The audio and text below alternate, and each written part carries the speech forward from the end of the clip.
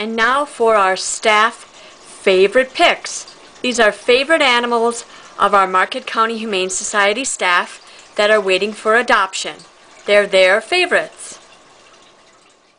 Go. Hi, I'm Tracey, and this is my favorite dog at the shelter. this is Oliver. I have a special place in my heart for these dogs because I have German Shorthairs, and I've had them for about 23 years. Oliver is a typical young German Shorthair. He's about 11 months old. He's got a good nose on him, and I, I believe he could be a good hunting dog down the road, but he needs lots of obedience training, and he needs a job to do. Um, he's a great dog, and I think he's going to blossom to be a absolutely wonderful dog with some good training. He gets along with other dogs. Um, there's some pictures of him there playing with the group.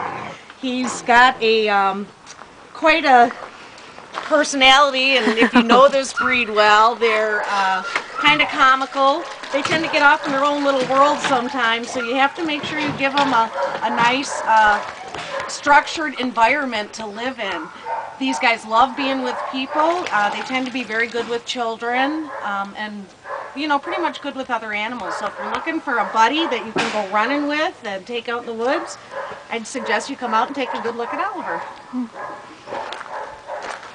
And there's his handsome face. Whoo!